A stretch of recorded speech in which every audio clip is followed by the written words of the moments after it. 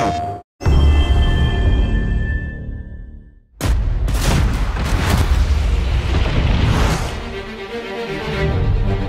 how are you handling the move from Brooklyn? I mean, it's fine. See you in a few weeks, Spider-Man. New York's only Spider-Man. And the other Spider-Man's gone. I just keep making things worse and worse. You're Spider-Man. You can fix this.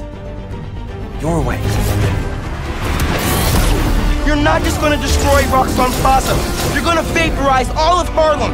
Harlem needs someone to fight for the community. He's our Spider-Man. Throw yourself at enemies you can't beat. Does this job ever get easier? Whoa, whoa, whoa! Why do you keep fighting? Because I'm oh. Spider-Man.